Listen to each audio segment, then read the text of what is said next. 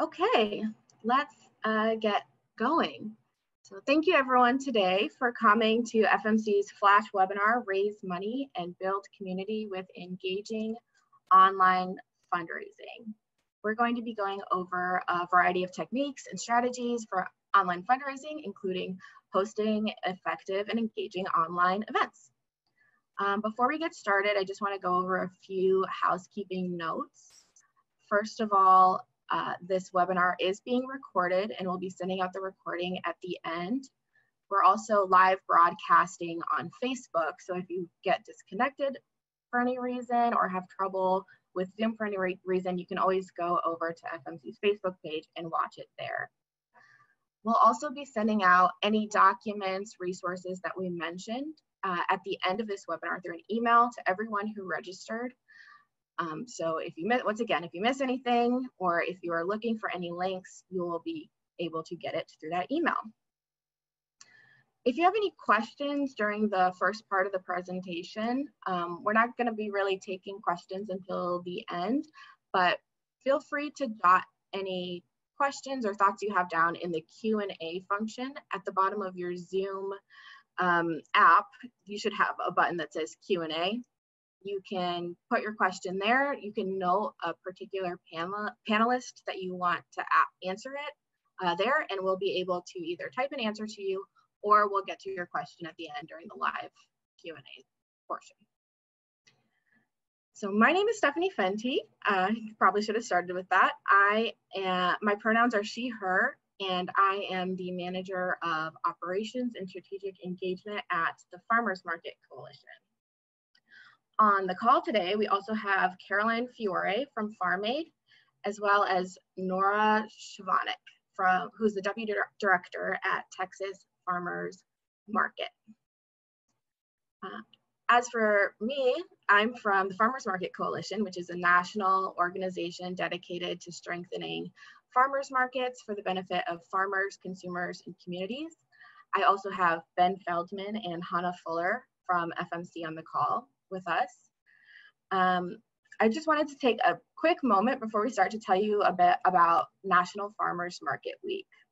Every year we celebrate National Farmers Market Week the first full week of August, and as you may notice, that's coming up very quickly. Next week uh, is the start of it. We FMC offers a variety of resources, templates, in our toolkit for farmers market operators. Um, it's a great opportunity for market operators to participate in the campaign, um, which is our biggest celebration of the year, and get a lot of additional eyes on their market and support for farmers markets in general.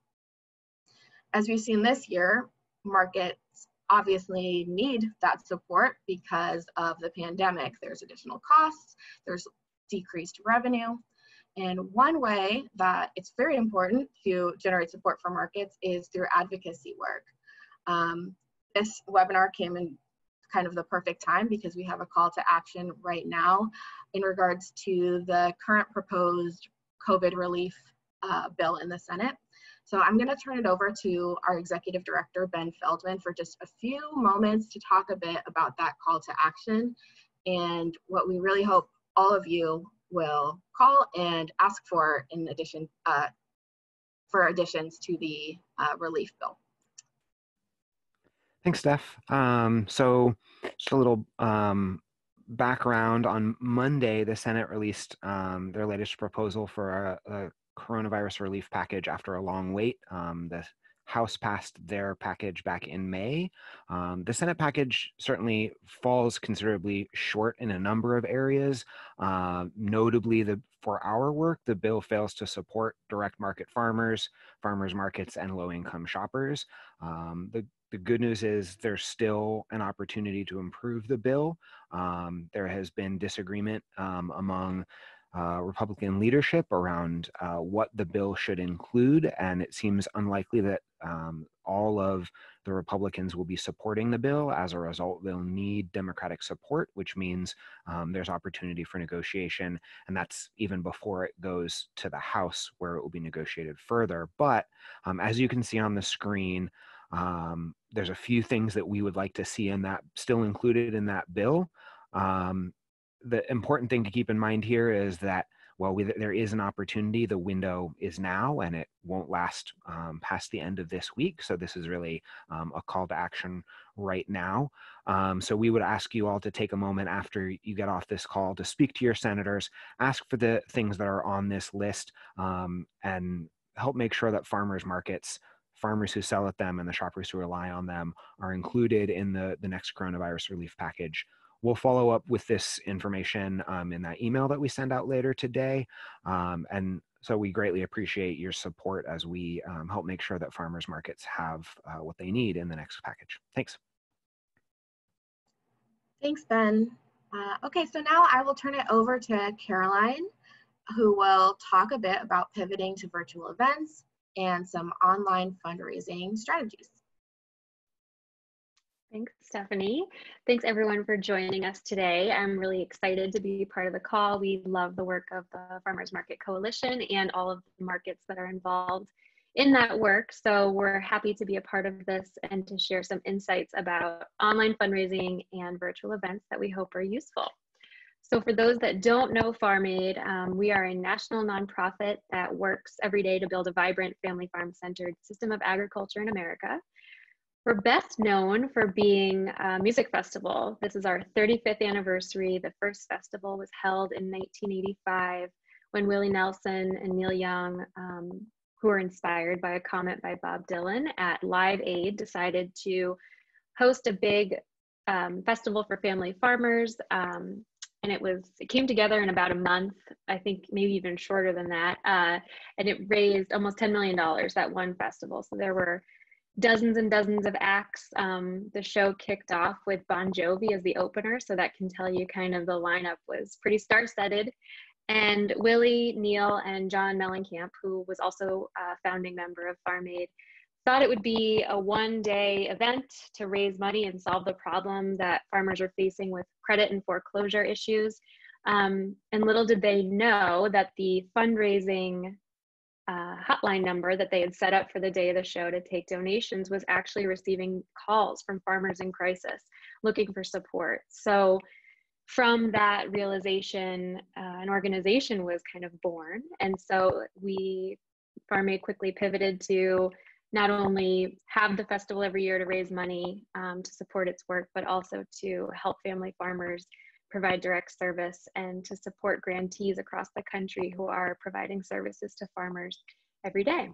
So I guess you could say that in-person events, um, especially like big live music festivals, are part of Farm Aid's DNA. It's our origin story. And so when the pandemic struck in March, um, we were kind of at a loss of how to pivot to bring that Farm Aid experience to people in a virtual way. Um, not only is the festival our biggest fundraising platform each year, it's also the, the biggest day to raise awareness about the work that we do and about the great work that grantees do across the country and to bring farmer stories to the public. So thinking about how the pandemic might impact live events was something that um, was top of mind for us starting in March and still is every day as we consider plans for our festival this year, which typically happens in the fall.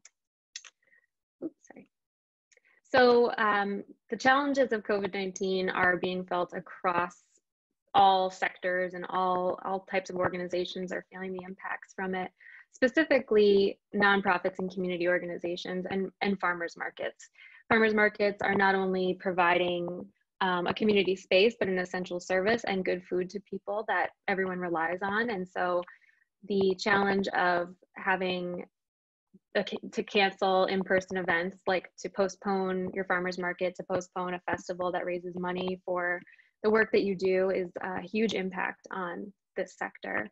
And in march we were kind of thinking about what the projection might be um, in charitable giving for nonprofit organizations and community organizations throughout 2020 and at first there was the initial projection of about a 10% de- decrease in charitable giving and so that um, figure, I think it spooked a lot of people in nonprofit work that how do we ask for money in a time where it's expected to be scant and giving is expected to decline? Um, is it okay to ask for funds for your work in the middle of a pandemic. This is not something that any of us had really dealt with before, especially fundraising professionals. Um, and so we kind of thought about what we were going to do to support our farmers and ranchers in this time. Farmers and ranchers are essential workers. They're always on the front lines growing good food and, and bringing it to market. And the farmers markets are delivering it to the people. And so we thought that work wasn't going to be stopping. Our work can't stop because we're supporting these important folks. So we just decided to really shore up our online fundraising strategy around COVID 19 and supporting our essential family farmers and ranchers.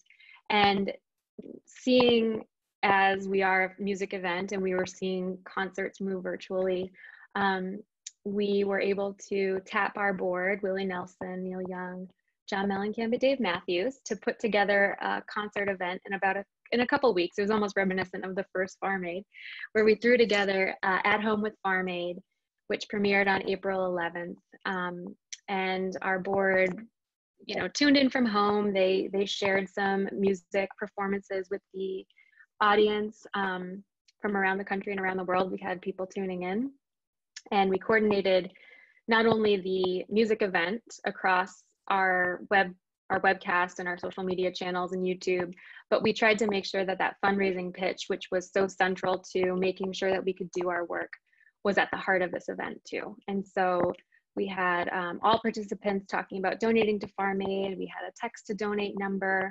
Um, and the response was overwhelming. We did not know what to expect from folks tuning in for a one hour music special. And we're very fortunate in that we have these legendary artists that we can ask to do this for us. But we raised over $500,000 in 24 hours to support our family, our Farm Aid COVID-19 Farmer Resilience Initiative, where we deployed that money to support family farmers as emergency grants um, for household expenses and other needs during this time, as well as to support the organizations that are helping farmers navigate the pandemic and um, doing advocacy issues as well, um, similar to what Farmers Market Coalition is up to.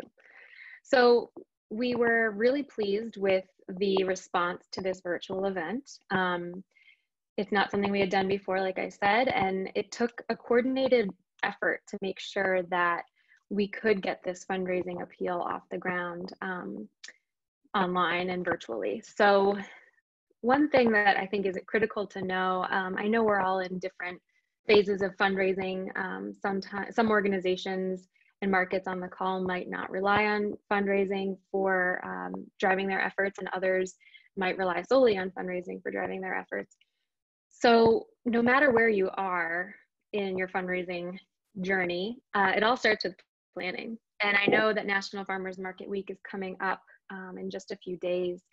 And so that's a perfect time. The, the ready made materials and marketing um, materials that FMC has created for markets to take advantage of that week is almost like out of the box uh, marketing. So I think that National Farmers Market Week is not only just a great place to start, but it's a way to tell your story and to engage your vendors, um, partners, all kinds of folks that rely on the spaces that you provide through your market to help you with the campaign. So, for example, with Farm Aid, when we did at home with Farm Aid and ran our online fundraising campaign around COVID 19, we relied not only on the artists who we're very fortunate to have. I know not every organization can ask Willie Nelson to go on TV and sing a few songs, but not only Willie, but others that are engaged in our work that could spread the awareness about this online fundraising campaign and tap into their social media following or their email list um, we were surprised at how far it went. And I think when you start to engage your partners in your community, you'll be surprised too. I know um, Nora is going to talk about that as well as part of their campaign. But also engaging media, um, whether it's your local media, um, your own channels, the channels of maybe some influencers in your community. A way to just spread awareness about your campaign is critical, and foresight and planning about how you might do that is part of the whole game. And then in addition, creating content for all channels is something that you want to think about as you embark on this um, planning and how you might talk to each audience, whether it's your email list, your social media following, um, if you're going to have a fundraising aspect at your market, if it's up and running or your online your online market. Um, you want to make sure that it's tailor made to each platform and each audience that you're going to be reaching because um, you can't expect that everyone's going to see it if it's in one place. So, FarmAid, not only do we send out an email appeal, but we also send out mailers, we send out um, asks on social media. It's all on our website in a coordinated way where the look and feel is the same and people start to recognize that message um, like okay they are this is this is the focus right now for this market or this organization. And one thing that's maybe uncomfortable if you're just starting out with fundraising um, is making the ask and not only making the ask once but making it often loud and clear. So in addition to coordinating that content you're going to want to make sure your appeals um, that, that the ask is central. So for me when i i've been in fundraising. I've worked at FarmAid for 10 years, and that skill just takes a while to develop, um, especially if it's not something that you do every day. Uh, it's it can be awkward to ask people for for funds or how, how do I ask without you know putting someone out and that was what we were thinking about at the beginning of the pandemic like how do we fundraise when so much is happening and so many people are affected and you know what i like to think about is how often we are appealed to in all types of organizations that we support. And even if you are unable to give, that knowing that that's what that organization is up to and, and their goal um, for not only fundraising but programmatic work is really important. So making the case for what your organization or your market wants to achieve and knowing that the community is there to help you achieve that goal. So I think that just practicing and, and making the ask the worst is that someone just isn't able to give, but no one, I've learned that no one's offended by the ask. So I'd love to make sure that that message sticks with everybody who's starting out their fundraising campaign. And then again, like I was talking about engaging your partners in media, inviting community support and participation in all forms. So you might be asking for an, you might be appealing for a gift and asking um, folks to support your market or your organization in this time. But there's other things that people can do. one thing that we did at FarmAid was create a, a list of ways to support family farmers and ranchers every day, and that that included making a gift to FarmAid, but it was above and beyond that one simple message. So I would suggest thinking about ways to engage people on social media. Could they do a recipe or photo share of what they got at the market um, and you know have a centralized hashtag where all of that content is flowing. And that would start the conversation and get people talking about why the farmers market is so valuable and what that space brings to people outside of just a shopping experience. Um, could you think about an online event? FarmAid we held a virtual concert because that is kind of our bread and butter but there there might be a way to bring the market virtual um, could you do a Facebook Live event or an Instagram Live? Um, cooking and growing demos from some of your vendors, um, bringing in some of the music that normally plays at the market to be part of your online fundraising event. So, you know, having a little happy hour with um, with a performer and asking for funds at the beginning and end when you introduce is just an easy way to marry fundraising with um, some sort of fun content. Um, another thing that might be interesting for the farmers market community is that there are so many people that are willing to volunteer and help out and, and to attend the market and to support it. But could they run their own fundraiser? Could you appeal to your list to do something like peer-to-peer fundraising or a contest? Um, this is this is a tactic that might be best used by organizations that are 501c3 charitable organizations, but you could use Facebook fundraisers and ask people to, for the Farmers Market Week, um, create their own fundraiser that would support their local market. Um, other fun ways to get people involved that can be easily translated to online are auctions. So um, there's plenty of online auction platforms, and I'd be happy to chat about some that I've used and I know about, um, where you can host an auction, you can ask your vendors to donate an item, the money that you raise at that auction could then, you know, be moved into your um, programmatic work and to support the market during this time.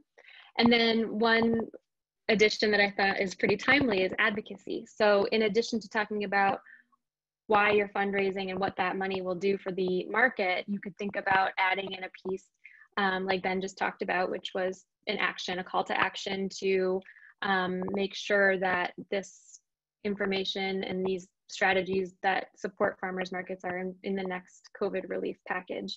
Um, to call on your senators and legislators to support family farmers during this time. So there's not just the simple ask for funds, but there's a way to further engage and, and to, to get some interesting community experience out of a time like this.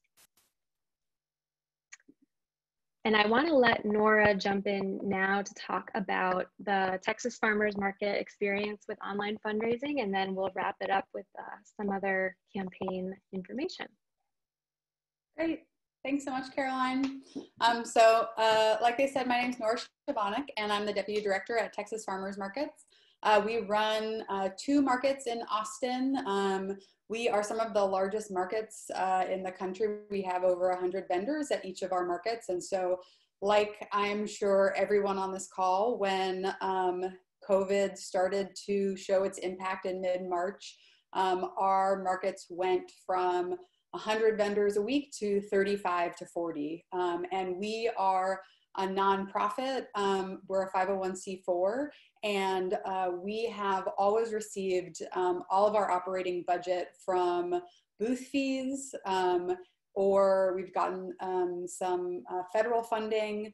Um, and we've had a few sponsors, but really the majority of our operating budget comes from our booth fees. And we were seeing a 60% um, decrease in our operating uh, revenue uh, when all of this started. And um, as I'm sure many of you experienced as well, uh, we not only had all of our regular costs, but we had higher costs because of COVID to keep our markets uh, operating. Um, the, with the size of our markets, we had a lot of conversations around how we might be able to pivot during the pandemic while still serving our farmers and ranchers and vendors. And we really found that um, there was no way for us to switch to any sort of like online or pre-order pickup model and we really had to keep our markets running um, in a similar but different fashion to how they were prior to the pandemic.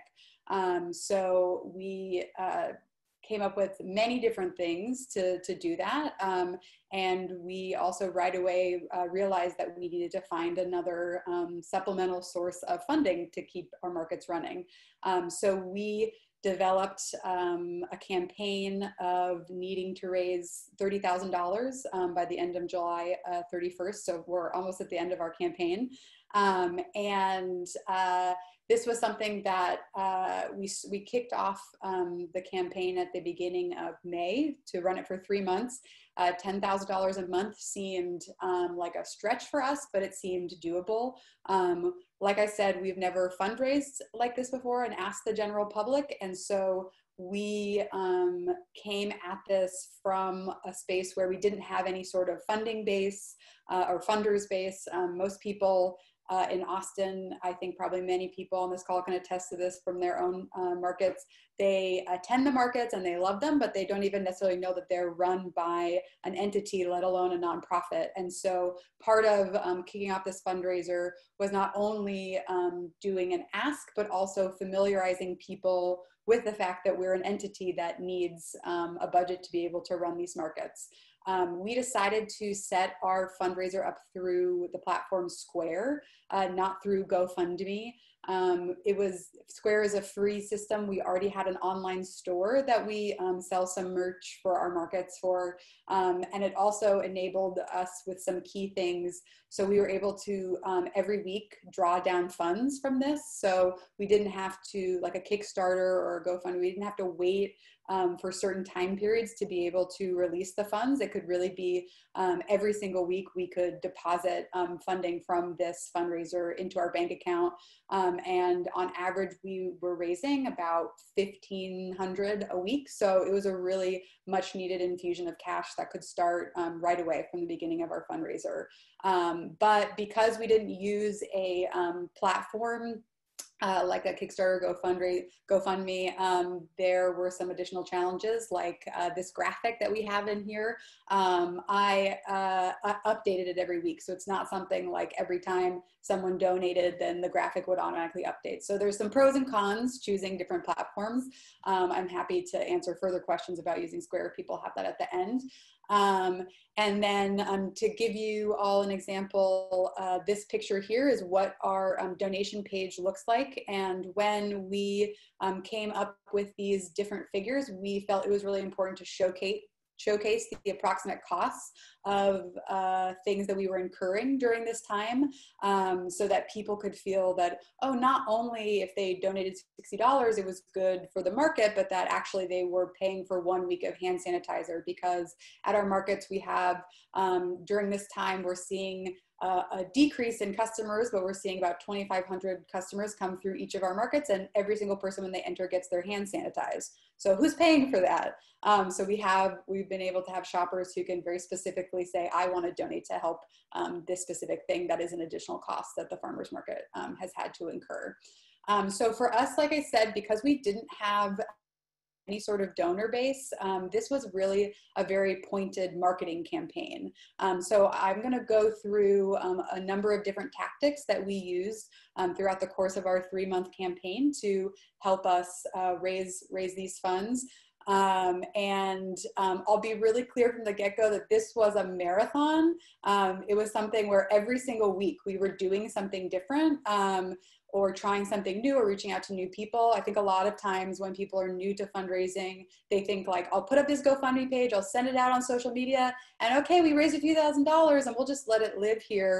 Um, but for us, this was a very targeted campaign where we did a number of different things throughout our three three month plan. Um, so uh, first of all, um, uh, let's see, next slide, Caroline. Um, we uh, we started out um, with how most people would engage with a fundraiser, which we um, did a general call out in our newsletter and on social media. And we had um, an at market sign, a physical sign that was this lemonade jug that our team, you know, as the funds increased, it increased with a yellow highlighter. Um, but we um, we decided to do a lemonade jug. We had a lot of conversations around what um, imagery we should use because um, a lot of things that we initially thought of were like for fundraisers, like I remember from high school, there being like a thermometer. We were like, we don't want to use that. That's not positive right now. Or talking a lot about how to get this message out, you know, saying things like, help our message go viral. Don't want to do that now either. So it's really important to think about the messaging that you're using, even just from the get go. Um, so uh, we decided to do a lemonade jug. It felt really focused around community and something that is, uh, we have great lemonade at the farmer's market. It felt really positive, um, and it was something that we could track every week in this jug. Um, our initial response um, through Jess asking in our newsletter and on social media um, was really great. We had a really positive first infusion of cash in those first couple of weeks, um, and then it began to lag. Um, so we asked people, not just in social media, to donate, but we also asked them to um, share and spread the word. So even if they donated or they couldn't donate, um, to help share this around social media to reach um, farther networks. And we also asked every um, member of our board, we have a pretty small board, um, to, to share this as well. So really trying to engage um, our first circle of people to share the message of our lemonade jug. next slide. we also um, decided that uh, while our markets have always been really based, um, focused on our markets, um, and we've only ever, for the most part, done at market events, we'll sometimes partner with people prior to COVID here and there, um, that we needed to think of a new way to um, to engage people and everyone was doing that virtually and um, i'm sure that everyone on this call also has spent a lot of time um, over the years um, trying to get shoppers to talk to their farmers. And we recognized that during the pandemic, that was the thing that we were telling everyone to stop doing at the market like get in get your groceries and get out and we still wanted to have some sort of conversation and provide a space with our um, with our um, farmers and ranchers at the markets to, to have some, some level of connection to um, their shoppers during this time. So um, we uh, set up uh, a half dozen Instagram live tours um, with our farmers. Um, and what we asked was that in the beginning and at the end of these half an hour long tours, um, we just did a little pitch to um, the people who are watching saying, hey, we're bringing this tour. It's totally free. It's educational. But also think about if you enjoyed this tour, send five or $10 our way. Um, it was also another thing that we could use um, in trying to uh, reach out to the local media. This was a very specific thing that we could tell the media that we were doing. Um, you know, running farmers markets and staying open to the pandemic, that was something that people were interested in learning about, you know, the first month, second month, but you know, three, four months into this, the conversation is like, yes, you're open and, and so this was a good way to engage with people saying, hey, we're doing this programming. Um, and then it was left up, it stays on our Instagram um, live channel after the fact so more people could watch it. We've had about 1,500 people on average watch each of the tours. So it's been, it's been really successful. Um, then uh, next slide. Um, we also worked on um, really trying to think about uh, how can we amplify our message in the networks of people that are in our network. So um, on the left of this slide, you'll see um, a blog post that I wrote for, um, there's an organic farm in Texas called Johnson's Backyard Garden, and it's really popular, has a large reach, and has a really successful CSA program. And so um, I uh, wrote a guest post for them um, just talking about what it takes to continue to run the markets during this pandemic. Um, and it was a great way for shoppers who um, go to this stall, um, but who maybe don't think of the market as an entity. They just, they had allegiance to this farm and they go, oh wait, there's actually an entity that runs the markets that enables this farmer to come here um, you know, once or twice a week. So it was a great way to kind of then expand the circle of our network and reach a new group of people who may have been farmers market fans but didn't necessarily know it. Um, and it was a great way to like really directly share our message. Um, then on the right here you'll see that um, we reached out to a lot of local media um, in austin. Um, and you know the i would say the first month and a half of the campaign um, we really weren't getting anybody biting. And i kind of i will admit that halfway through i was like no one's picking this up. Like, I don't know how this fundraiser is going to do. Definitely everybody has moments uh, in their work um, when that happens. And um, I say this because we didn't get any traction on the fundraiser the first month and a half in the local uh, media. And then starting like mid June through mid July, we had a lot of press that came and talked to us. We had print, we had television, we had um, online, and each one of those things gave us a bump. Whenever we could get a partner to share something out, we would get a bump between $500 and $1,500. So really, um, you know, I say this because the local media is great, but also know that like just because they don't respond right away doesn't necessarily mean that they're not going to respond if you have a more targeted long-term um, campaign like this. Um, then the next slide. Um, another thing that uh, we are um, lucky to have in our markets, and I imagine a lot of other people on this call have as well, is that there are a number of Instagram influencers who come to our markets, um, who uh, we know that they come because they share um, posts from uh, attending our markets and shopping. And so uh, I reached out to um, many influencers that had seemed to be friends of the market in the past. Um, I wasn't reaching out to new networks of people that weren't connected to our markets, but more people who had come and shared a picture in the last few years. Um, and I found them to be incredibly receptive. Um, I highly recommend that if you do this, send people a direct message. Don't email them because the emails that I sent, nobody ever responded. But when I would um, DM an influencer, they would usually respond within like five minutes. Um, and it's a, you know, uh, there's a no risk in asking someone and there's a huge reward. Um, Yoga with Adriene shared our post. That's the example here on the left. Um, and she has hundreds of thousands of followers all around the world. And it was nice to see that too, that not only do we get some donations, but it was also just a nice thing for people to comment and share saying how much they liked their farmers market. So it's a positive thing in that realm as well that helps with, you know, messaging and reminding people that, you know, farmers markets are a, a wonderful thing that we should all be supporting. Um, and then uh, the last tactic that we used is one of our vendors, um, Teddy V Cookies, came to us saying that they wanted to um, donate cookies to our farmers market to sell um, and to help support our fundraiser. And um, I was like, well, that doesn't, that's not really in our wheelhouse because we don't have the permitting. It doesn't really make sense for us to sell cookies. But what if um, instead what we did is this weekend, um, anybody who donates $10 or more will get a free um, pack of cookies.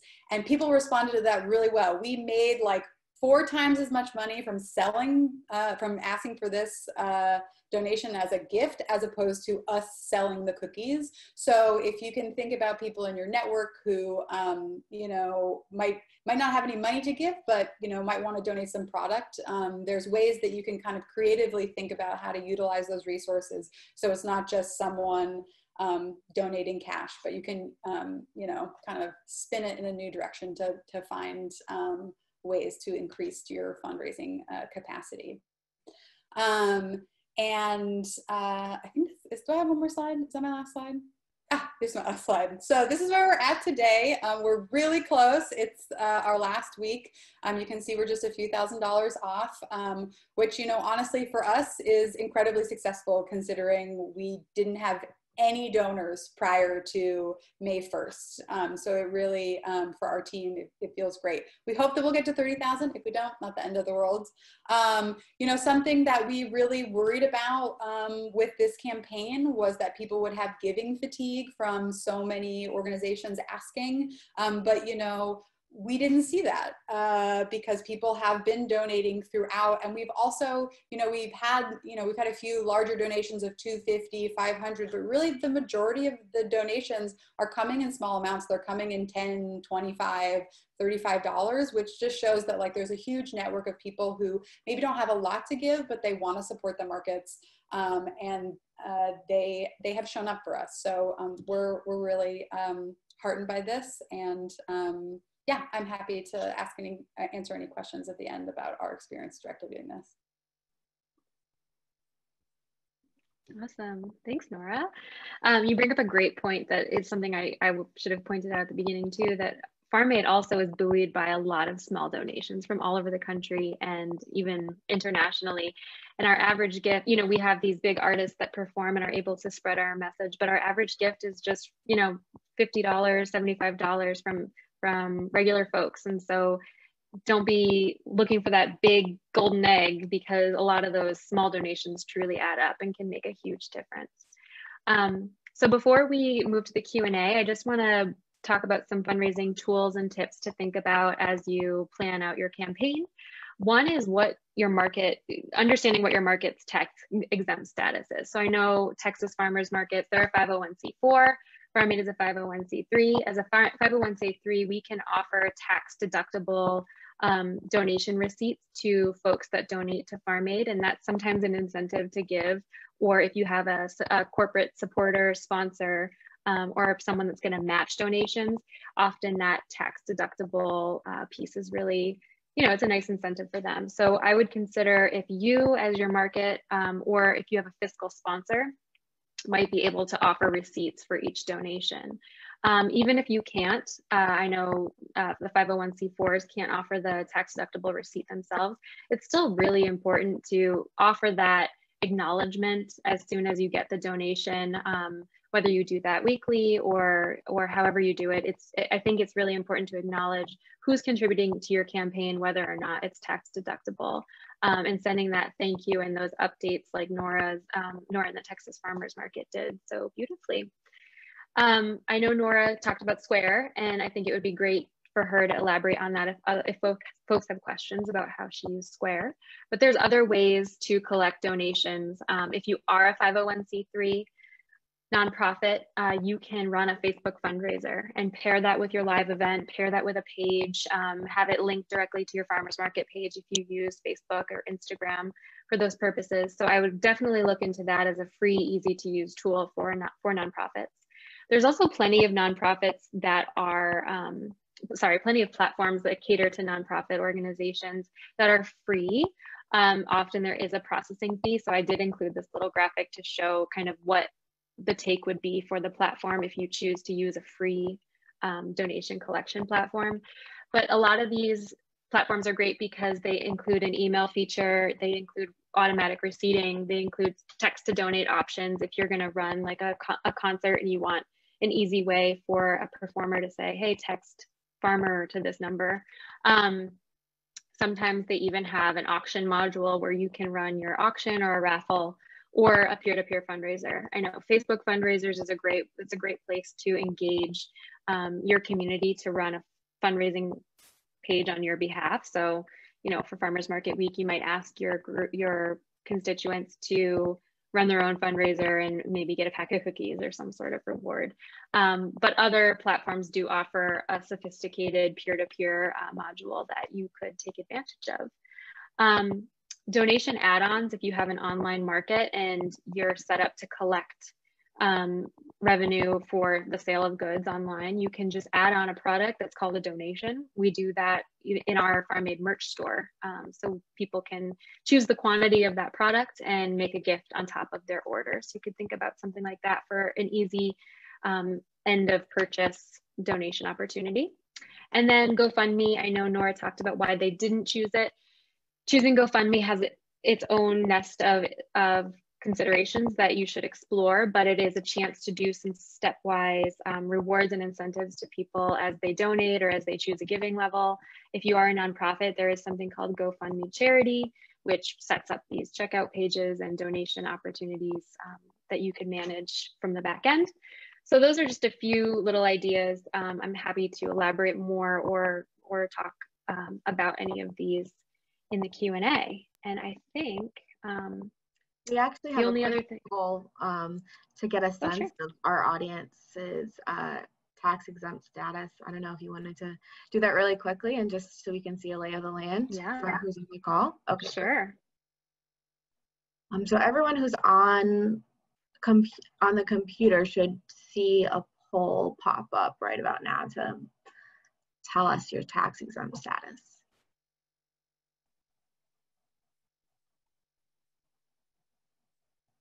Awesome. So it looks like mostly 501c3s, a few C4s, and other nonprofit designations as well. That's great. I think that this is really interesting then because as you acknowledge and thank your donors, providing that tax deductible receipt is definitely something you are required to do for certain gift levels. So just making sure if this is your first fundraiser that you're considering all of those legal implications of collecting donations. Um, and to entice maybe sponsors or, or others. Wow, okay, great. So mm-hmm. pretty overwhelming majority of 501c3. Um, so Nora did some great examples of how they shouted out the donors that came through their campaign and provided campaign progress updates. Um, but one thing to do at the end of your campaign when this runs, and you know maybe you're going to run it for a week or a month, um, or ongoing is to analyze the results for future fundraising. So thinking about what worked well, what was a tactic that we didn't try that we'd like to try in the future, um, what seasons can we kind of think about to make thematic sense for our campaigns. You know, harvest time is a good one as your market may be winding down for the season, thanking a farmer. Um, Giving Tuesday, Thanksgiving, the holiday time, people are primed to get fundraising appeals at that time, and it would be a really great you know way to continue your efforts through the end of the year. Um, and then thinking about the spring sowing seeds getting ready for 2021 hopefully we'll all be back together in person. Um, so kind of laying the groundwork for a great market open um, in the spring if you're not a year-round market. But um, just keeping your continue you know it, fundraising is not just a, like Lily and Neil and John Nolan can't figure it out. It's not just a one day thing. You can't just have one fundraiser and, and solve your problems. And even if you do, that's great, but you know, you'll need funds moving forward. And so considering how you might build on your fundraising campaign in the future is something that's really important. So I think now we can take some questions. Wonderful. Well, let's start with the questions in the Q&A. Um, I believe the top couple are for you, Caroline. Um, Mandy asked, where does the 10% decrease in charitable giving projection come from? Does it include event ticket revenue? Okay, that's a great question, Mandy. So this 10% decrease that we were seeing as an initial projection was just sector-wide for nonprofits and um, a, an overall general decrease in charitable giving. So that would technically exclude ticket revenue. Um, it's just non, it, it's um, tax deductible donations they were expecting to fall off as the pandemic kind of sped up. And related to uh, the 500,000, that was gross revenue. Um, we collected donations and corporate support through checks and online gifts. And so that was um, that was what we took from that 24 hour period. Wonderful. Nora, I think these are for you. Yeah, the next question is from Lori for Nora. Um, what is the typical weekly attendance of the Texas Farmers Market? Would you be willing to let us use this cool graphic with our logo, of course, to save us time and money to start a fundraiser? Um, yeah, so our markets on average, we would see about 5,000 shoppers come through per market. Um, and post pandemic, we're now seeing between 1,500 and 2,500 come through. So less than 50%, but we also um, uh, do a pretty in-depth estimated sales count um, of all of our vendors that come through. And what we have seen, which we've been really heartened, is that sales have stayed really steady or they've gone up for a lot of our vendors. So even though we're seeing a decrease uh, in customers, we're able to really relay to our vendors that um, it's still very worthwhile for um, for them to come to the market and sell there and especially i'm sure many of you have experienced this too our farmers and ranchers during the beginning of the pandemic were all being sold out like within an hour or two of the market but we're not at, in that um, buying spree any longer um, and then in terms of the graphic i would be happy to share it um, it's uh, an illustrator file so it does have a little bit of um, you have to have some expensive equipment to be able to edit it but i'd be happy to um, share it out to let others use it not a problem Thanks, Nora. Um, and I'm wondering if there are any other ideas for ways to create um, an easy graphic like that. One thing that comes to mind for me is Canva, um, which is a free platform that makes it really easy to do some quick graphic design. Uh, so that might be a way to also work around the expensive Illustrator. Um, yeah, yeah, Canva is great.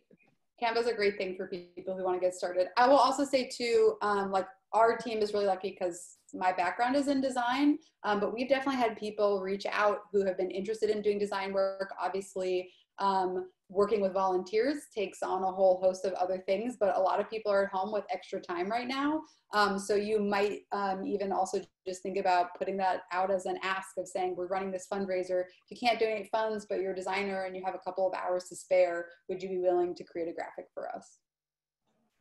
Really great idea. Also for Nora, uh, who shot those Instagram live tours with your farmers from Mandy? Me, I did them. Um, we, I actually uh, went out with um, our executive director, and so we've um, found that um, the tours we, I, I was the camera woman, um, uh, and then our executive director Nena was on camera with the farmer, and um, just to, if you're thinking about doing something like this, just to give you like a really quick rundown, um, what we would do is um, I coordinated with the farmers ahead of time, so we had a schedule, and then we uh, promoted the schedule as saying like on Wednesday at 10 a.m. we're meeting with F Stop Farm, and Thursday blah blah. So people knew when to tune in, um, and then um, we would show up to the farm about half an hour beforehand and kind of do a really simple walkthrough with the farmers um, so that they knew what to expect. Like we would say, like, okay, we're gonna start at the greenhouse and go here. It wouldn't just be like you show at the farm and then go live. We talked through it. Um, and then um, Nena was on camera with the farmer asking questions that she had prepared, kind of moving the conversation through.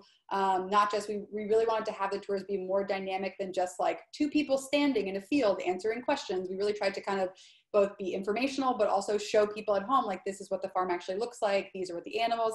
And then as um, the camera woman i also um, fielded questions that people had um, on instagram live so that it could feel really interactive as people um, tuned in. Also good thing to note that with instagram live um, you can um, people can make comments and you um, can pin a comment as the person who's filming. So when we started the tours, I would I would uh, write a comment that was like, "This is a fundraiser for the farmers market. Donate via the link in our bio," and then I would pin it onto the onto the um, uh, video so that anybody who tuned in, they would automatically see that comment. So even though we weren't talking about the fundraiser throughout the video, um, you would still know if you tuned in that it was the fundraiser.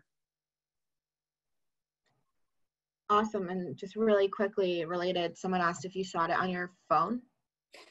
Yes, I shot it on my phone. And um, one thing to be aware of, we had a, a technical difficulty issue that maybe I can share with you all if you decide to do this so you won't have the same issue. Um, that uh, we shot our first tour at this wonderful dairy called Pure Luck Farm and Dairy. We got to the end of the tour. And then um, if you want to um, save your video, and post it to your page so that lives on there indefinitely, you have to do it immediately. And it's very hot in Texas, uh, starting uh, like in late April. And we shot this um, in late May. And at the end of the 30 minute tour, my phone overheated and shut down. And we weren't able to save it. It was very sad.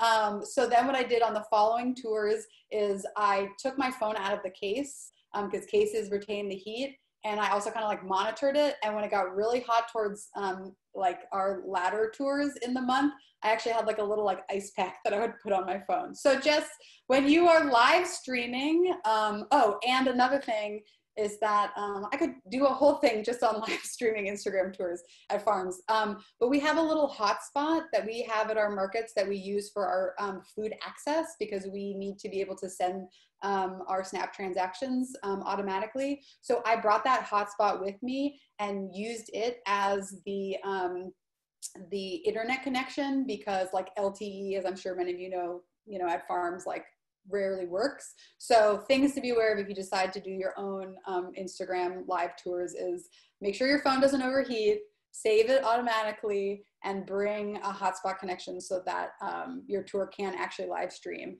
Um, but it really is amazing. I mean, we all have live streaming capabilities in our back pockets for free. So I say use it if you can. Yeah, we're live streaming right now, actually. right. Awesome, thank you. Um, okay, so next question from Mandy again is, while we're focused on small gifts as well, we're curious to hear how to engage with more major donors, folks who are giving at least $1,000. So that's a great question. Um, you are required by law as a 501c3 to acknowledge and provide a tax receipt for any gift over $250 so it's it might be interesting to kind of think of that as your base for like a major gift so that you're doing an extra special acknowledgement and thank you to those folks. Um, and you might think about how you can if these major donors want to be named, if they don't want to remain anonymous, how you might be able to feature them in any communications or on your site as a as a type of maybe it's a steward or or some sort of special designation for their gift level. Um, I know that that often does make people feel really good. We often put a slide on the um, video set for Farm Aid at our festival of all of our major donors, and it's it's a nice you know boost for them and a thank you. Um, so there's creative ways to shout them, provide a shout out to them. Um, I know that Nora did that for every donor, and that's an awesome thing to do too, especially if you're just kind of seeding your your donate your donor pool. Um, but we also sometimes provide uh, premiums. So over a certain gift amount, you might be able to give them some swag or some merch. You could think about what that what makes sense for you. There are some IRS implications for what the good the goods that you're giving away must be under a certain level per gift. So look into that, but especially for major donors, that that level is um, far exceeds what that little. I'm not explaining this well, but I can provide a link that helps you determine where you can, how much value you can give to someone. Um, but that would be a great way to give them a special, you know, T-shirt or or tote bag or something. Nora, did you have any experience with um, soliciting major donations at all? Or mostly small donations? We did not have any thousand dollar donors. we're all really, we're, ours were all small. The largest ones that we had were um, 500 through the website, um, but we just gave them the shout out and sent a thank you note or mm-hmm. email. Yeah. Um, one other interesting thing you might be able to do is if, if you know of someone who wants to make a sizable gift, you could ask them if you could use their gift as a match incentive. So if you say, you know, for the next 48 hours, all donations up to $1,000 are going to be matched by the generous folks at X or this family or whomever, um, because that can entice more gifts and that, that almost doubles their impact too. Um, so it's a good way to think if you know of a major donor who really wants to support your campaign to see if you can work in some sort of marketing with them too. It also works for businesses um, as sponsors, you know, match sponsors. Great, thank you.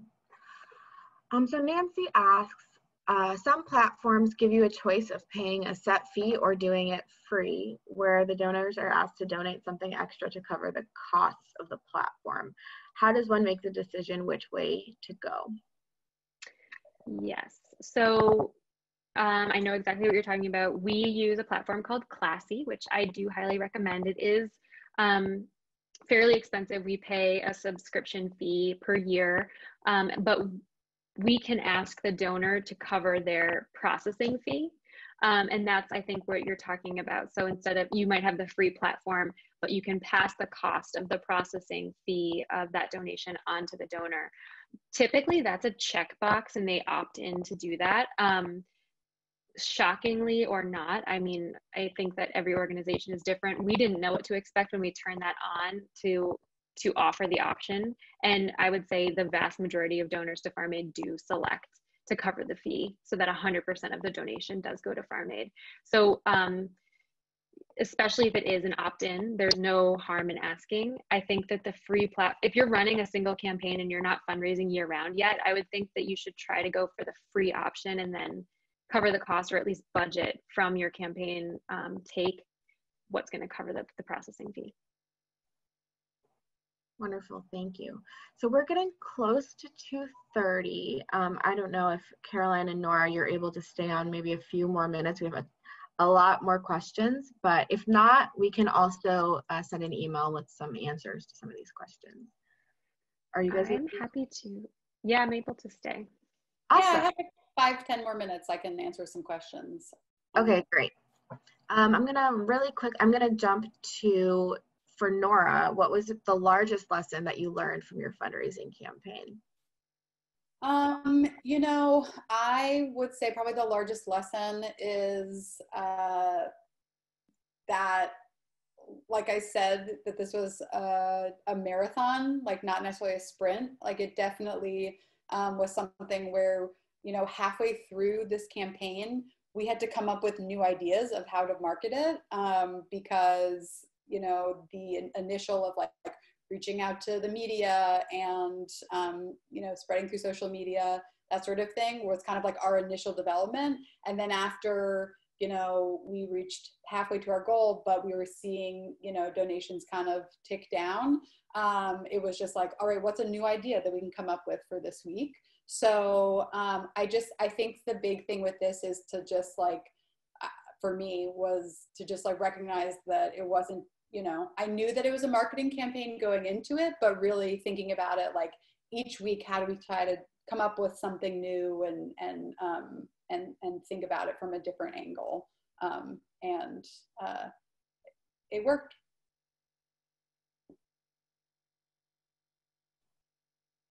yeah i think that that's actually probably the most important um, thing to remember because it's so easy to just do one push and hope that it keeps working, but you have to keep at it to remind people. And that's that's the case with a lot of marketing and you know the Facebook algorithm and most um, social media algorithms kind of forces you to do the same. Um, another good question from Margie Stelter is um, whether we have any tips for oops I lost it how to do this effectively for small markets run by volunteers or with very limited market manager hours.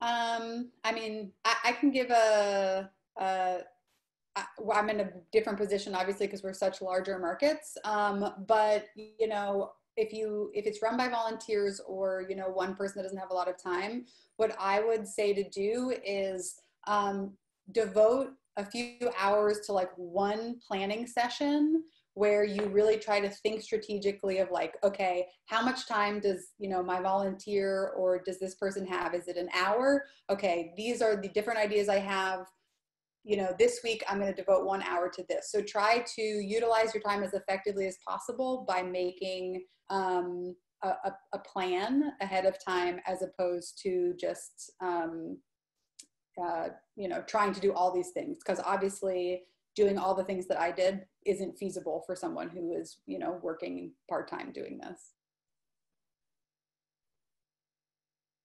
Yeah i think that nora your answer is really important. I farm aid has fundraising staff. So we you know we can't really relate to the all volunteer effort but we do rely heavily on volunteers for um, our annual festival. We engage folks i think over 400 people um, each year. And so you there are a lot of hidden skills in the volunteer pool that you might not be realizing. Maybe somebody had a career in nonprofit fundraising or something similar. And i think that tapping the strengths of your community you might um, be able to meet your need that way Yes, and I'll also recommend um, leaning on FMC's resources, our templates that we already have, and using those um, to, to do a bulk of the work of the marketing and messaging. Um, I also would highly recommend thinking about if you are 501c3, using tools that are free like um, Facebook fundraisers where it's pretty easy to set up, to track, to even have it even has the like the temperature gauge of how close you are to your goal, and really engaging also your vendors and your customers that are loyal to your market to set up their own campaigns. I think that that's just a really helpful way to uh, extend your reach pretty easily and just send out the messaging to your supporters so they can all be using the same messaging, even the same imagery if you have graphics or if you have like a logo that you want to use so that it still looks like one campaign, but you're having, you're tapping other people to really spread the word and get, get it out there. Oops. Okay, um, let's see. Probably have about five, two to five more minutes. Um, let's go with how are you tracking donors and is there a lot of staff time spent sending thank yous? I can quickly talk about um, how Farm Aid does that. So we use a donation platform called Classy, which this is going to answer two questions, I think, because it flows to Salesforce. So we are using Salesforce for nonprofits. Um, it's an awesome, robust tool. You have to spend a lot of time and typically consulting dollars to make it work exactly the way you need it to. So that's something important to know right off the bat that it is free, but like anything, there is a lot of um, hidden cost if you want to make it super custom. I'd be happy to have a call about both Classy or other, we've used other um, donor management platforms before as well as Salesforce. If anyone wants to do that, I can, my email, I can in, make sure is included in that um, email going out to all the participants and I'm happy to talk. I spend a lot of time on um, constituent management and acknowledgements and kind of fundraising admin stuff. So I'd be happy to get more in depth with those who need some guidance. Um, and for us, um, we don't use uh, Salesforce. We don't have donor management usually. So um, what we did was um, every week um, on Tuesdays, we exported a list from Square of all of the people who donated. And then we uploaded them into our um, newsletter platform. We use Emma.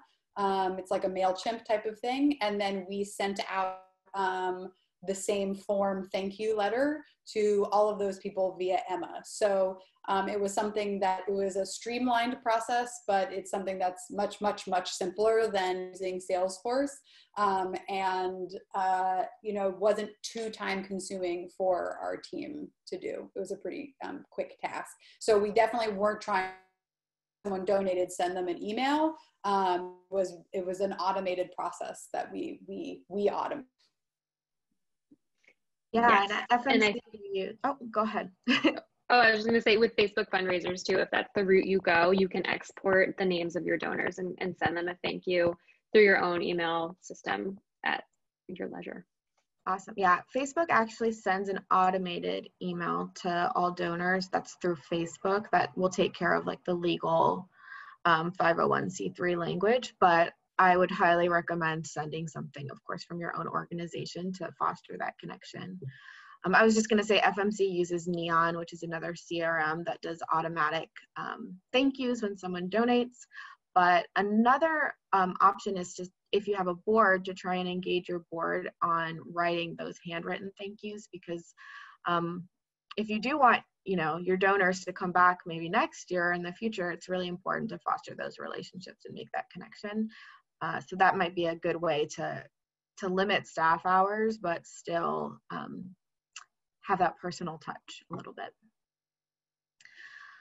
Okay, um, there's only a few questions left. Um, one is asking about templates for acknowledgements and receipts for donations. Um, I don't believe that we have anything on FMC's resource library at the moment, but it is something that you can very easily Google, like the, the mm-hmm. exact language that you need to use um, for a tax exempt letter. But yeah.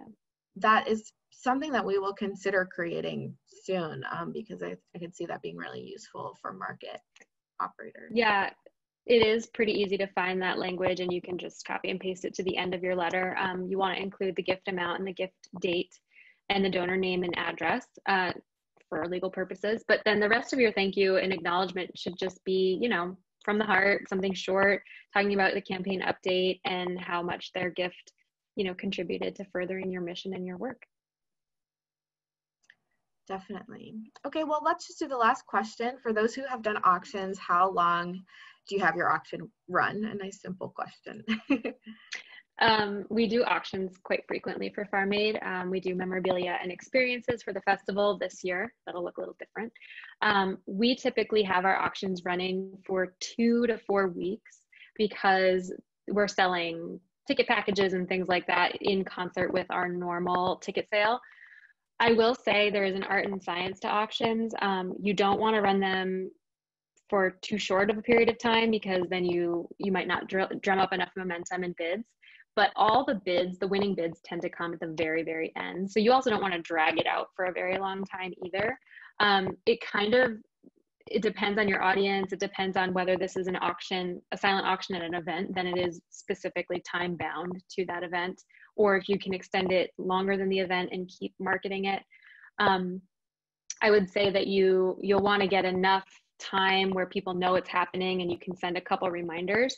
But you know sometimes two weeks is just too long and people lose interest and they just don't come back to bid. So i would say you play around. It's nice to start with silent auctions that are tied to an event so you can kind of say okay the auction is open from six to nine and then we're going to process the winning bids um, and then kind of move to the online auction but it, auctions are a great way to raise funds because you can get a lot of really cool interesting especially from vendors um, donations if if they're willing and make it feel like something that's representative of your market. Great, thank you, Caroline. All right, well, I, I think we're gonna have to wrap up for now, but we will be reviewing all of the comments in the chat and we'll compile all the questions and answers um, if anything wasn't answered into the email that we send out with the recording of this webinar. I want to thank everyone for coming. Thank you so much to Caroline and to Nora for sharing your expertise and your experience. Um, and I hope everyone has a wonderful National Farmers Market Week and participates as much as you can. Um, if you do have, if you do end up setting up any events, fundraisers, be sure to tag FMC in those and we'll help to share it uh, and spread the word during National Farmers Market Week. Thanks everyone for coming. Have a Thank good you. rest of your day.